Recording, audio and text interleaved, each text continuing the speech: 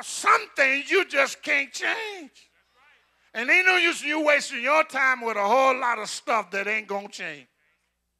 That's why I always say I'm constantly becoming what I am. Got courage. And see, some people don't even know, well, I don't know where I'm saved or not. You saved? I don't know. I think so.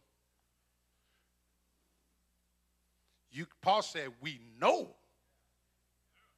You got to know. Don't be in that dilemma. If you ain't sure, make sure.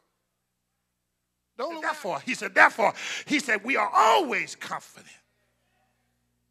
We walk by faith and not by sight. Because everything you see is not necessarily what it is. The grass is not always greener on the other side. It's a mirage. And I got to share it because I plan on putting it on my wall. When people don't know you and want to know you, they speculate.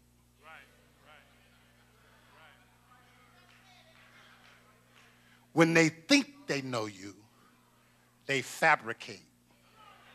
In other words, they make up stuff. But when they come to know you, they hate you because you ain't what they thought you were.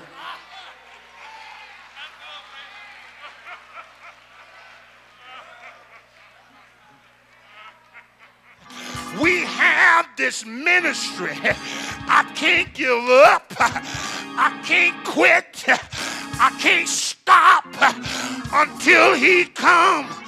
Because he said, occupy until I come.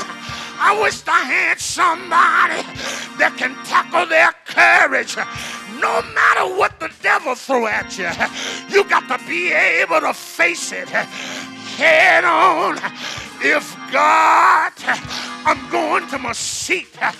If God be for you, who shall be against you? Say,